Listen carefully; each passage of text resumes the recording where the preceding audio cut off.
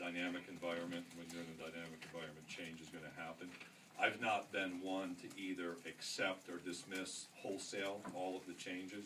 I think you have to look at each with intent and then take a position. So, for example, uh, probably last year when we were here, we were talking a lot about summer camps and the uh, unregulated environment that existed around football summer camp. So clearly, from my perspective, uh, the change scenario, the timing and the circumstances of those camps is something I see as positive. That came from the Football Oversight Committee.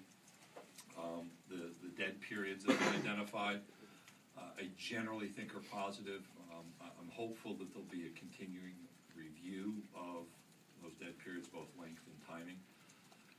One of the best examples that, that I think justify those dead periods is there's been a two-week late June, early July dead period in football. And when you talk to coaches, that they have um, embraced that because if they're away catching their breath, they're not worrying about who's visiting campus because they're not able, the prospects aren't able to visit.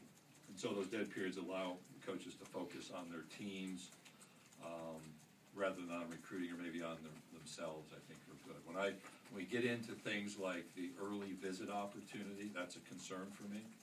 Um, not that I, I'm, I'm just a, a person who says you can never have early official visits think those will come in other sports as well. Um, as you look at the normal college evaluation process, college visit process, those, those happen. But we didn't really adjust in, in what I view as an effective way. Um, so take our football student athlete leadership council, in February they met, they said, why would you bring people to campus when it's not a regular academic term? Why would you have visits in June?